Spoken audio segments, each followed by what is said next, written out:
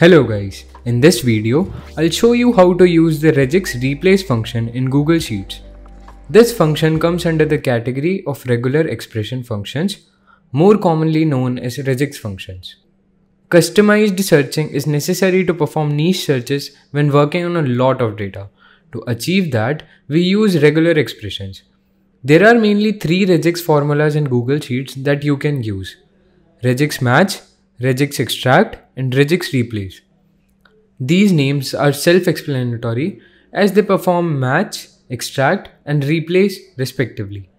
We'll be covering the regex replace function in this video. Let's understand how this function works using an example. The regex replace function will replace all sets of number in the text with a new value. We'll use this function to change the year of every war to 2022. This is how we can write the function.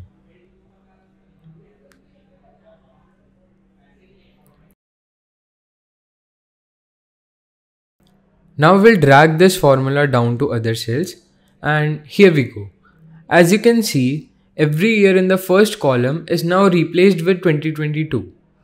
Also, notice that the regex replace function replaces all sets of numbers in the text as we can see in row 9. Unlike the regex extract function, which just extracts the first pattern it matches. I hope you liked the final video on the topic regex functions Hit like and subscribe because we'll be covering other useful formulas and functions which can save you a lot of time. Until then, adios amigos.